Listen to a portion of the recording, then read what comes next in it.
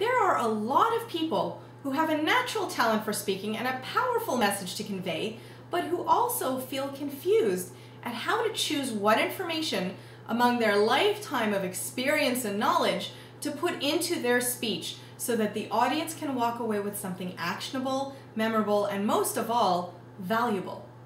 So the question is, how do you take everything you know and focus on the right things in your speech? So here are three steps you can take to find your focus as a speaker. Step number one, set your objective. Before you even sit down to write the speech, ask yourself this question. What do I want the audience to think, feel, or do by the end of this speech? Establish the value and keep revisiting that throughout your speech creation to make sure that you, your message, and eventually your audience stay on track.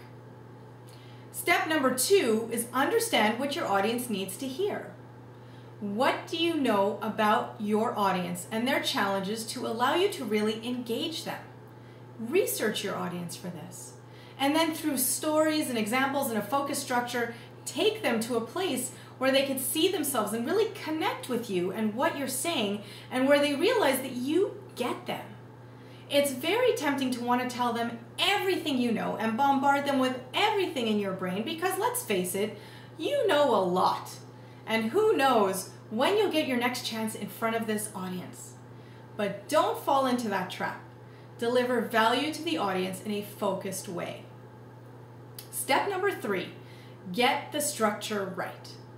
Until you get your structure right, it won't be clear. If it's not clear, your audience won't follow, and if your audience doesn't follow, there's no value. And if there's no value, what's the point? At its most basic level, structure is about introduction, body, and conclusion. The introduction is the warm up, the enticement, the moment where you need to establish connection and grab their attention fast. In the body of the speech, you draw out the key points or the proof that shares your suggestions and thoughts on how to solve and resolve the issues.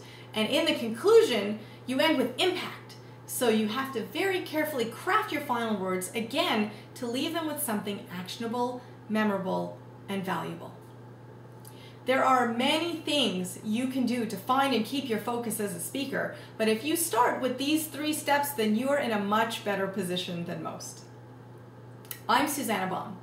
If you'd like to find your focus as a speaker and to discuss how to create a structured and engaging speech that is actionable, memorable, and valuable, check out my online program, signaturespeechthatsells.com, or let's get in touch and talk.